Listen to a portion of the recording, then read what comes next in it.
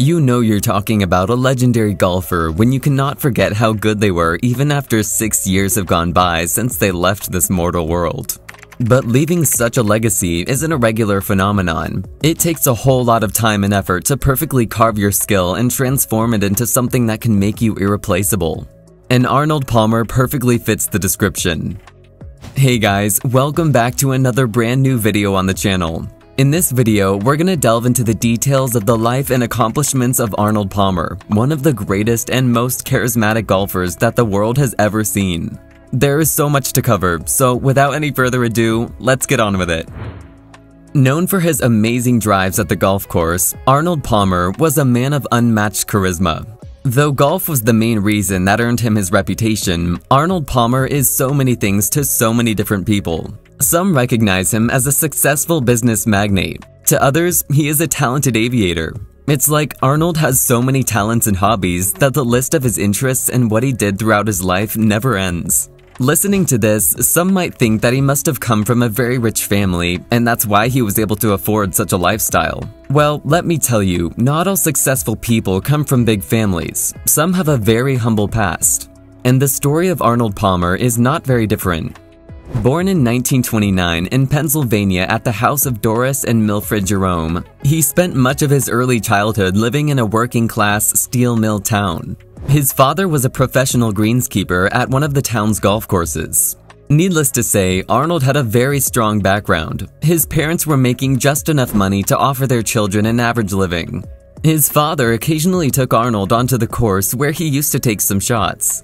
As he grew older, his interest in sports increased and so he kept working on his skills until he got himself admission to Wake Forest College on golf scholarship. It was an accomplishment for him to get that scholarship, but if he hadn't, he probably wouldn't have attended college because his family was not in a situation to afford his education. He worked alongside his studies though. He left college after three years and went to work in the Coast Guard. He left because one of his friends died, but after a year of serving, he came back and resumed college. It was in 1954 when Arnold won his very first title at the Detroit Amateur Championship. And at that very point, he decided to make this sport that he always loved so much and was also good at it his full-time career. According to Palmer himself, his win at Detroit Championship gave him the confidence that he was good enough to compete at pro levels. So, in 1955, he announced to become a pro golfer. This was exactly after he played the Shawnee on Delaware, Pennsylvania tournament, and that was where his luck rewarded him. Palmer met his wife at this same tournament, and when he met her for the first time, he knew that she was the one. And to be honest, Arnold loved his wife, as you can tell by the fact that they lived together until 1999 before his wife Winifred died. So that was pretty much about his background and how the journey of golfing as a rookie started. There are very few people who are really able to recognize their strengths and the acumen they possess for something. Fortunately, Palmer recognized that early on, and today, looking at all his lifelong accomplishments, one can say that golf was made for him. There is a reason he was given the nickname The King. When Palmer joined golf as a player, the game was in its booming phase, especially during the mid-1900s. That's when Palmer was at the peak of his career, so basically both were growing and flourishing side by side. So, all this established a beautiful synergy between Arnold's career and golf itself. Mentioning this was important, as Arnold is quite known for not only just playing the sport, but he was among the few who put in the effort to develop the golfing community. I mean, as I said, true greatness is required to build a brand around your name. It's time that we finally talk about the wins that make him a golfing legend. So, Palmer earned himself seven major championships during his whole golfing career, he won Masters tournament four times, once every two years starting from 1958 to 1964.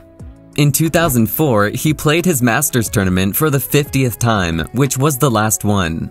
Alongside winning the majors, he won the US Open in 1960 and two British Opens consecutively in 1961 and 1962. From this, you'll get an idea about the major wins, but you'll be seeing a pattern here. You see, all the titles he earned were from 1958 to 1964. This pattern proves that Palmer and golf flourished together. You might be wondering, where is the PGA tournament? Did he win none of the PGAs? So it's true that he earned 7 great titles for winning the league as a number 1, but in PGA he stood second 3 times with 29 wins at several PGA Tour events. Of course, winning a PGA Tour is great, but what I'm going to tell you is a greater accomplishment when you compare it to the wins. It's the fact that Arnold Palmer was among the pioneers who made PGA tournaments popular and famous. It's not just the PGA, Palmer was a regular member of the Masters Club and there he served as an honorary starter for the Masters. He retired in 2006, but he knew that one day he will have to retire from the game. So he also took the same path that a lot of famous golfers take today. Have you been able to guess it? Yes, it's the golfing business. Golfing industry is a really big one, and the business associated with this industry are equally big. Though Arnold had already made huge bucks by playing golf in several tournaments, he opened his golf business. In this business, he used to make new courses, manage the already built ones, and also took over the jobs of designing luxury courses. Palmer himself designed over 300 golf courses in 25 plus countries. This is simply brilliant, how many businesses do you see around yourself that are established from scratch and within a few years the business becomes an undeniable reality?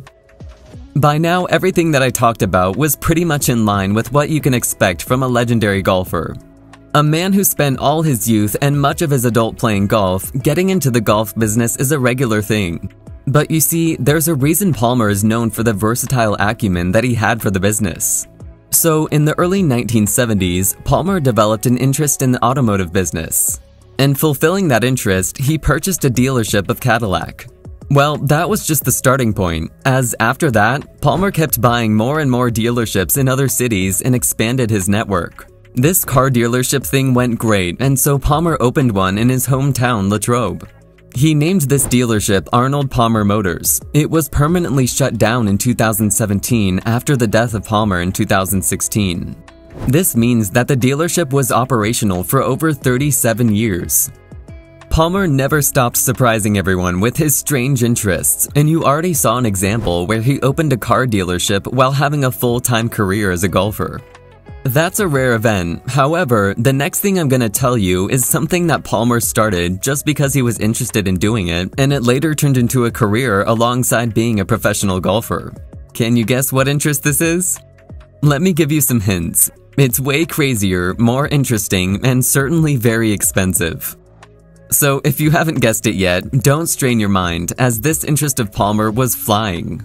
It says on his website that next to marrying his wife, Winnie, and deciding on a professional career in golf, there's only one decision Arnold Palmer considers smarter learning how to fly an airplane. During 55 years of his flying career, he did over 20,000 miles in several aircrafts. And to honor his service, Westmoreland County Airport's name was changed to Arnold Palmer Airport. And even a statue of Palmer is placed around the entrance of the airport, in which Arnold can be seen holding a golf stick. Now that's what we call an accomplishment. From everything that I've discussed until now, it might seem like this man was all about himself. In reality, it's the opposite. Where Palmer was a great golfer and a business executive, he was more of a philanthropist and a humanitarian. And as with everything else on his portfolio, his charitable activities are nothing short of commendable.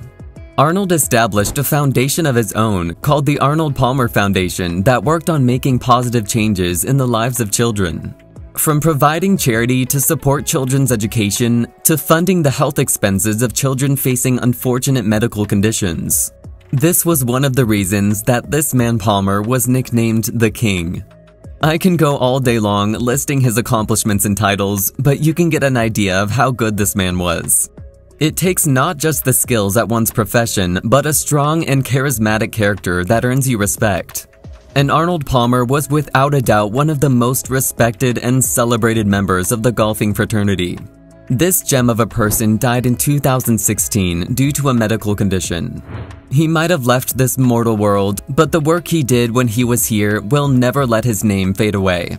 On that note, I'll end this video here. I hope you guys liked it, and if you did, give it a thumbs up and don't forget to subscribe. Thank you guys so much for watching, and I'll see you in the next one.